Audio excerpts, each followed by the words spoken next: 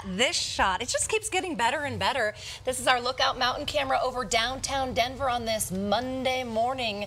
This shot has been changing all morning long, but there's a little bit of haze kind of settling over the city, but it's gorgeous out there, right? Looks really nice. It is. It's pretty. We've got some patchy fog on the eastern plains. Pretty dense if you're on I-70 and then you head east into it. Here in town, though, who's ready for some 50s? Oh, I, yes. yes.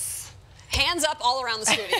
uh, we have our Denver 7 Book Club coming up this Wednesday. Mm -hmm. Molly is excited that it's Wednesday, not Tuesday, because she's still got some reading to do. Well, I got about half the book. Just but... a little, but uh, you can still pick up the book for 20% off at any tattered cover. We are meeting at 7 o'clock at the Aspen Grove Tattered Cover. Everybody is welcome. It's free, and I'm posting information on how to sign up on my Facebook page this morning. At 25 degrees this morning, mid to upper 20s at the bus stop. The kids are going to want to wear a jacket on this Monday. We should be, well, doubling those numbers, though, by this afternoon.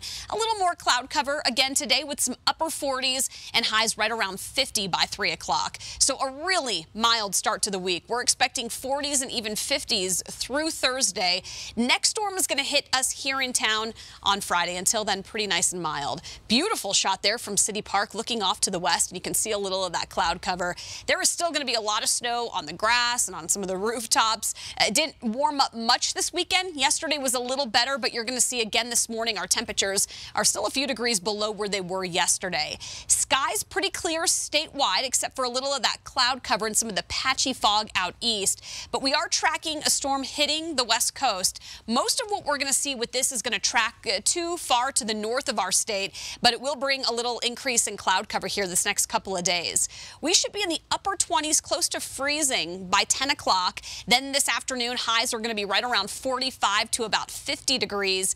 Nice warm up up and down the front range, even warmer down across southeastern Colorado mid 50s, mid to upper 50s near Pueblo.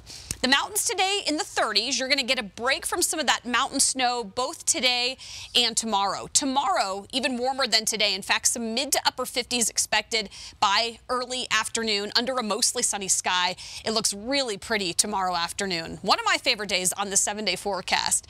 Wednesday, we'll be tracking a chance for some mountain snow. That's going to develop later in the day. We'll also be a little cooler here in town with a weak cold front and then warm again mid 50s, it looks like by Thursday. Here's that stronger storm. So yet again, we're looking at another Friday storm. Could impact your Friday night plans. Right now, it looks like some light snow, but we'll keep an eye on it. And it does get cold, Jace. We'll be back in the 30s, close to freezing by Sunday.